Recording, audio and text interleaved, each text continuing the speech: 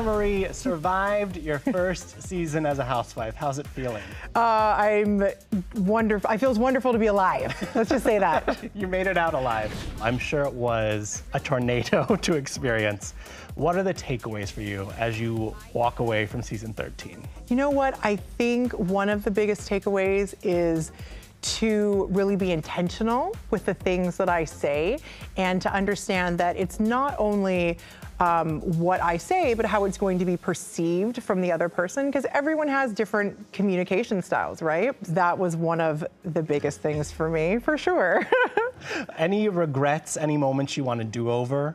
Oh, absolutely. I wish that there had been zero conversation about the E word. As far as I understand, and like I, I only do anesthesia, I don't know anything, but like narrow esophagus, that's that's a symptom of something. That's not a medical diagnosis. I never want to hear that word ever, ever again. And I think that if I had it to do over again, I there were a few things I would have said at the time that I did not, that I kind of waited on. And I think that the moment kind of passed. So I should have said a few things at the time. What were those things? Um, those would have been when, oh boy, when when I was accused of misrepresenting my title. Okay, let's unpack this a little more. Okay. you really latched on to esophagus. She said, well, it's because of my small esophagus. So her small esophagus. Teddy, she says that she has a small esophagus. When you look back, what propelled you to do that? Were you given bad advice of like, find something to talk about it and never stop talking about it. What happened? No, so it was presented at the dinner party at Kyle's house. And Kyle had said that Sutton just pushes her food around her plate. And so the only thing I really wanted to know was what was the underlying reason causing the small esophagus. That was that was actually it. I never um, doubted that Sutton had one. Uh, it was really just trying to understand what the underlying diagnosis was that caused that. That was all. This then kind of snowballed some drama for you and Crystal. Crystal, you were the one saying she has an eating disorder. Are you out of your mind? Crystal, did you want to go to med school? If you'd gone to med school, you'd get that. Did you go to medical school? You no, know you tell me. You were an anesthesiologist when Here I we met go. you. Here we go. And then you- Like downplaying Let my tell you profession No, no, no, again. no. You're such a bitch. Have you apologized to her for that comment, or is there part of the story is still missing? So there's part of the story still missing. Okay. So that conversation happened because Crystal asked a question about an eating disorder, and I was answering the question about an eating disorder. So neither Crystal nor myself actually accused Sutton of having an eating disorder. And it sounds like there was a miscommunication, and that's why Crystal got so mad at me and used that big B word, uh, because she thought I was accusing her of saying the eating disorder. So I imagine you unpacked this at reunion. Did I'm sorry ever come out of your mouth there? I explained that I was never accusing Crystal of having said that because I actually didn't even understand. When I watched it back, I was wondering why Crystal was so mad. I didn't even know that she thought that I was accusing her of saying that Sutton had an, an eating disorder. I mean, I will apologize if I've hurt someone's feelings because I will always do that. That wasn't my intention of doing it, but if she needs an apology from me, I'm not above doing that. Okay, this exploded in Spain. Yes. The first thing Crystal said to me about this group of women was that you ladies were not intelligent. Damn. Nobody was educated, and you're very shallow. Shallow and uneducated. She maintains she did not say the things that you accused her of saying and that you twisted words she used. Do you buy that? Funny thing is, she actually did admit it later on. Oh. Yeah, she did admit it to the ladies. And the ladies, I mean, when they heard that information that I brought to them that she said about them, they weren't surprised. When she said that about the ladies, that they were in a bad place, and that's what led her to say that to me, and she apologized. You know what else I want from you? I want to thank you for, For giving what? you something to talk about and making your ass relevant. Oh, God. Do you still take credit for making Crystal relevant? Well, let's look at it like this, okay? What was Crystal talking about before I came in mid-season? Right? She wasn't she wasn't talking about too much and I think that you know, she's kind of gotten a pass for not having too much going on. And so when I entered the show, I think she kind of saw that as an opportunity to create some drama for herself and create something that she could, you know, really talk about. And I mean, she, people are talking about her a lot now, right? So do you think she thought out, oh, here's a newbie that I could take a shot at and make something happen? Well, I know that's what happened. Okay. well, how do you know that's what Because she told me that. Oh, interesting. Yes. Interesting. Yes. Uh, she also maintains that you introduced yourself as an anesthesiologist and not as a nurse anesthetist or a nurse anesthesiologist. Correct. Clear that up. Yes. So this was the conversation that took place. I, she said, I asked her what she did. She said, I'm a housewife. We talked about that a little bit. And in Crystal's defense, I don't think that her, um, you know, wrongfully accusing me of title misrepresentation, I don't think she understood that it would snowball into what it did, but I knew at the time, you know, and there were a lot of, um, there was a lot of disrespect of nurses happening during this process, and that was really, you know, it was really hard for me to deal with, and it was really, it was hurtful and disrespectful. Was there more than just that fight? Because you, the way you reacted in that fight was as if you had felt disrespected by her for an extended period of time and not just in that moment. The funny thing is, so Crystal and I had met prior to filming, as you know, and she was she was so sweet and she was so helpful, and you know she was really different off camera than she was on camera, and so.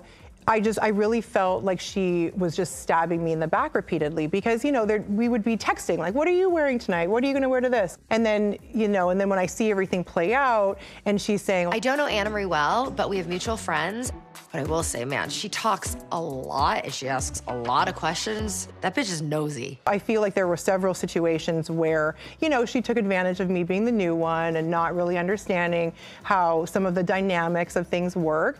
And she would play a different tune on camera versus off camera. Where do you and Crystal stand after reunion? You looked chummy at the People's Choice Awards. Well, I'm the person I can get along with anybody. Honestly, I can really get along with anybody. And I, you know, I thought after um, the finale that we were in a better place. And then you're gonna see some more things come up from her at the reunion. I, I don't think she's ready to let things go. You weaponized your profession against her. Oh, here we go. You have proven I- to be a liar. Like at this point, I need to just, you know, follow her lead. And I think she still has some things that she's kind of working through. How would you describe your first reunion? You know, I was so nervous going into it because there's so many unknowns. It's a really long day, um, but I feel good about it. You know, I feel like I got all my points out. I said all my truths. Um, I feel like, you know, I stayed calm the entire time. I wasn't going to get into any back and forth arguments with anyone. I was, it was like, if it's my turn to talk, let me know when they're done and I will continue, you know. So I felt good. I felt good about it. Who is in the hot seat the most? Uh, Kyle. To no surprise. yeah. Could you see yourself with Morgan? Um. Are there conversations about someone moving out? Do you talk about divorce? Does she offer answers that you think the audience will be satisfied with? I think so. People are going to, you know, find out things that they've been waiting to find out. Um, you know, hopefully everyone is satisfied with what she provided everyone with. And, you know, I'm, I'm just praying for her and I'm praying for her family and praying for her happiness. Did anything that came out of her mouth surprise you? Um, there were lots of surprises. Okay, lots of surprises. surprises, yeah. Well, fans are going through that trailer like frame by frame, like it's a Zapruder film, trying to look for things. There's like this whole conspiracy theory that Morgan Wade came out and like made some big, I don't know what. Is Morgan Wade there? Um, I, I don't think I could even answer that. I guess we're gonna have to wait and find out. We also see it was much speculated and rumored, and then we got the trailer and we see something happening. Something happened to Sutton at the reunion. Are you okay? Are you okay? She's Oh, God. Are you okay? Can we call somebody, please? You're shaking, you're shaking. What can you tell me about that moment? Um, I can tell you that it is going to be, it's a surprising moment. Um, and it's just another one of those moments that remind you to um, keep things in perspective. Okay, who maybe left some things unsaid or has more to answer to after reunion? That's a great question. Um, I don't know if um, Kyle and Dorit have gotten the closure that they that they maybe aim to. I don't know. You minimized our friendship You- to one trip. You knew that by saying something like that, it was going to create a bigger problem for me in the media with the whole Morgan situation. I was actually pretty surprised with all of that being brought in the first place. I didn't even see that rift in their relationship. So there might be things that they still have to, to talk about going forward or still work that they have to do going forward. But, you know, I'm that's a long friendship and I'm rooting for them. Yeah, the I feel like the the group, the ensemble, is in an interesting place. Yeah. There's a lot of fractures. There's a lot of cracks. Yeah. Having put yourself through the reality TV wringer, Yes. do you want to do this again? So for me, absolutely. I was there for half a season. Right. I think that's perspective people need to have is you were kind of called in off the bench at the last minute, like, hey, come play for the team. Yes, like the ladies were already midway through the season when I was asked to do it. I, I started filming so soon afterwards. It was very, very fast. And there were so many things that were going on in my life when I was filming. Um, my mom was diagnosed with stage four lung cancer, Oh, wow. and she passed three months later. Um, I was dealing with adoption trauma, which I opened up to. Um, Dorit and Erika about when we were in Spain. I know I have this very confident exterior, but I've still got a lot of work to do to feel like I'm in a peaceful place for myself and for my family. And I want to be happy. There were a lot of things that people didn't see about me. You know, you only see one personal scene with my family and I, um, so people don't really get a sense of who I am per se. And I think that, you know, I, I started this and agreed to do it because, you know, I want people to be able to relate to me. I want people to find something in myself, whether it's, you know, as a, as a mom of four, um, as a professional, as a former athlete, as someone that was adopted, as someone that's biracial, whatever it is. I want people to relate to me and I want to be able to, you know, show people that you're not alone. There's somebody out there that's like you. You've been met with some backlash online, which Yeah. you've opened up about, reacted to. Yeah. How has that all affected you as a human being? You know, I would love to be able to say, oh, it doesn't bother me at all, it's fine, but it does. And the reason is because I pride myself on being such a kind and inclusive person. And so for people not to, you know, really have a sense of who I am and what I stand for, and then to be receiving backlash from it, that's why it's so hard.